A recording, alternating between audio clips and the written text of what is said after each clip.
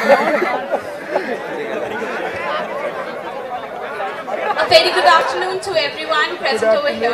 This is Ishita from CSE and I'll be presenting a poem on, on patriotism.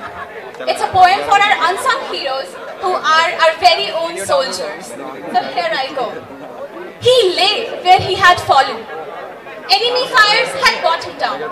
He knew his life was over.